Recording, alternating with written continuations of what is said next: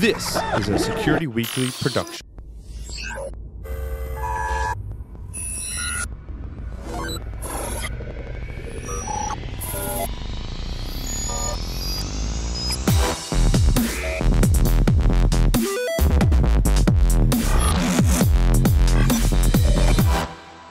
Black Hills Information Security, the leaders in penetration testing and active defense. Email consulting at blackhillsinfosec.com to request a quote today. This episode of Hack Naked TV is brought to you by IT Pro TV. With IT Pro TV, you gain access to the most important tools needed to prepare for your IT certification. IT Pro TV has thousands of hours of up to date, high quality video content. Course topics include CCNP, CompTIA Advanced Security Practitioner, Ethical Hacking, Virtualization, Cryptography, SSH, Microsoft Server 2016, and more.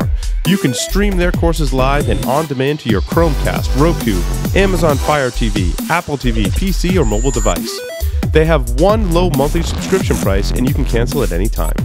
Corporate pricing is available and clients include Harvard, MIT, UCSD, Stanford, and more.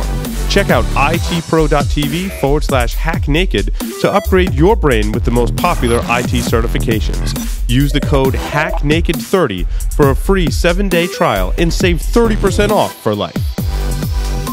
Hello and welcome to this edition of Hack Naked TV for May 17th, 2016. I'm your host, Beau Bullock, and today I'm going to talk about some critical vulnerabilities that were found in both 7-Zip and Symantec AV.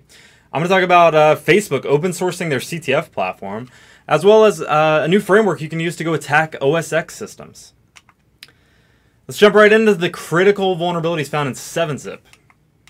So some researchers at uh, Cisco Talos actually discovered multiple vulnerabilities in our favorite zipping software, 7-Zip. Two vulnerabilities uh, originate from input validation issues, which, as most of us know, are it's the, the cause of pretty much all application security issues, input validation issues. Um, you see, the, the, the biggest problem with this particular vulnerability, and the reason I, I wanted to kind of emphasize on why 7 vulnerability in 7-zip is so bad is because a lot of people just imagine, you know, it's just the software client that I use to, you know, unzip software. Yes, yes, that's a bad thing, you know, that I could I could potentially exploit a client, right? Because I have a, a software that unzips things. That's bad. What's worse is that a lot of vendors actually include 7-zip in their own software process. So a lot of AV engines, um, some of the the actual like uh, malware detonation type of devices uh, also include 7-zip when they start to pack or unpack the uh, the malware that they're analyzing. Uh, so some some examples: FireEye, Malwarebytes, Comodo, uh, other AV engines typically use 7-zip on the back end on their server. So you know, while this is something that is yes, it's very bad because you know your client's vulnerable, but it's also way worse because all these other security products are potentially vulnerable as well. Um, and it is it is a very uh, critical vulnerability as it is a remote execution vulnerability, meaning an attacker could potentially take over the device that uh, is running 7-zip, an old version of 7-zip. The good news is that Talos worked with 7-zip very closely to get a patch for this out quickly. So what you need to go do is go update all your 7-zip software to 16.0 immediately.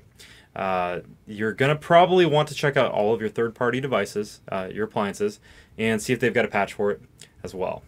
So go do that. Symantec blue screen of death vulnerability. This one is a little bit hilarious because uh, the the proof of concept literally blue screens your your Windows system. And the worst part is it's not just a Windows-based uh, vulnerability either. It's a vulnerability in all Symantec products across Mac, Linux, and Windows.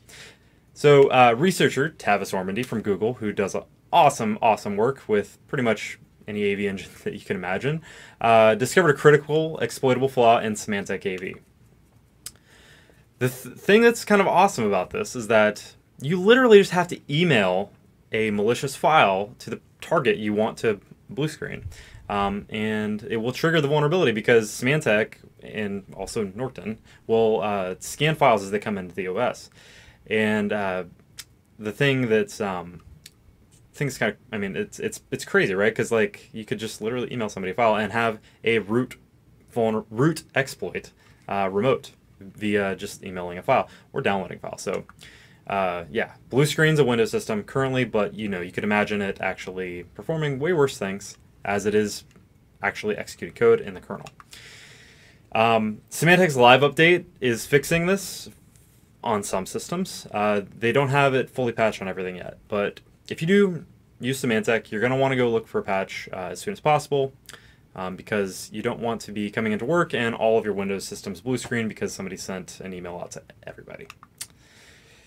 Facebook CTF platform that they just open source. This is this is awesome, right? I think it was it was last month. I, I did a review about NetWars, which is a, uh, a CTF based type of environment hosted by SANS. I love CTFs, and I think this particular thing is really awesome because it it's Facebook basically giving you the ability to go put on your own CTFs very easily. So let's talk about that. Um, they they open sourced it. They put it out on GitHub, and you know when we look at when we look at CTFs and how how they contribute to the education of people that are newly coming into security, I always recommend doing them because they they really help push you to the, the limits of your, your knowledge. And you know it's it's typically a solvable base um, a solvable group of challenges that um, you know it's it's meant to be solved right? So um, you know it's not just typically it's not just so far beyond uh, the people that are competing that they're not going to learn anything you want it to be an educational environment so being able to go put your own on is kind of cool so i mean as an organization, you might want to consider if you have an organization and uh, let's say you have your own security team, you might want to consider making your own CTF um, for them. You know, I'm sure it's it's probably not something that you have thought of as at the top of your your uh, your priority list, but you know, it, it, could be a very very interesting educational platform for your security team as well. Um, so the thing that's awesome about this particular platform is they include everything. Um, they include the admin side to set up the challenges. So uh, you know, you as the administrator of your own CTF could build build out questions, answers. Uh, you can set up a registration so that people that like if you wanted to host it um, with a, a, large group of people, they can come and register, sign up. So you don't have to worry about the whole registration process and the user management. Um, and there's also a scoreboard. So as as the CTF progresses, you can watch as everyone starts pwning all your challenges. Um, you can so with the, the Facebook CTF, there's actually a uh, either a Jeopardy or King of the Hill style CTF that you could host. Jeopardy meaning it's it's got like you know the typical way Jeopardy looks with you know questions um, questions equaling a certain number of points, um, and then with with the King of the Hill style, you uh, you have participants that are trying to take over a specific uh, set of assets and keep keep control over it for a certain amount of time, and they get points based off of how long they can control those. Um, so it's you know really cool if you if you want to go build your own CTF, you can do it now uh, very easily. Um, you know, previously, if you wanted to go make your own CTF, you'd have to kind of consider all of these things. You'd have to consider, oh, I need a scoreboard. I need to put together the you know the the submission part where you know users are actually submitting answers to my scoreboard and got to keep you know potential security issues out of it. Which, by the way, uh, the the Facebook CTF is actually under their own bug bounty program. So if you do find a vulnerability in the Facebook CTF platform, you can submit it to Facebook and uh, potentially get a bounty for it. So, anyways, check it out. It looks awesome. You, I might have to go build my own CTF sometime soon. So keep an eye out for that. Uh, let's talk about EmPyre with the emphasis on Pi for Python. So, uh, about a, I guess it was probably a year ago, I did a, a full demo on PowerShell Empire. Um, so the actual developers of PowerShell Empire have come out and built EmPyre, again, the emphasis on Pi, for Python. Uh, so PowerShell Empire is a framework that we use in pen testing all the time now. Um, it's great for post exploitation, pivoting around using PowerShell, um, creating stagers in PowerShell, now they have built that functionality. They ported it over to Python. Uh, you know, for, from a post exploitation framework perspective, you can do things like keylog. You can um, dump uh, dump things that were, were being stored in the, the clipboard. You can take screenshots.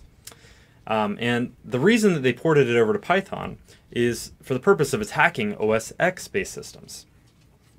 Now, as as uh, you know, more and more environments are becoming more diverse. They're not just being Windows shops anymore. They're actually including more Mac OS X devices. um, you know, us as pen testers, we need we need more more tools, things like this, to go attack those types of systems, and that's the point behind this entire framework. Um, you know, I we I personally came up against a few Mac environments, and uh, you know, it's going to be great having having a, a toolkit to not only um, con- control uh, via via command shell, um, but also perform post exploitation activities. Things like they, they actually ported over the uh, you know get GPP password um, functionality, which would go out to a domain controller and and look for um, clear text passwords that you could pull out of group policy preference files. Um, so it's it's going to be very similar to the way PowerShell Empire works, but it's also in Python now, which is awesome. So uh, yeah, check that out if you're a pen tester and you are coming up against a Mac OS X environment sometime soon. Check out EmPyre. Oh, lastly, the stagers. Uh, when you when you go to build a stager for the Mac, it actually includes a default check for Little Snitch. So if you are familiar with Little Snitch, um, it's it's basically a little firewall application that uh, is very popular on Mac systems um, that will basically pop up and alert you if a new piece of software is trying to connect out of your system. Um, so they've built a check-in to look for that to see if that, that process is running. But if, if it's running, it won't try to launch the stager. Awesome. It's great stuff.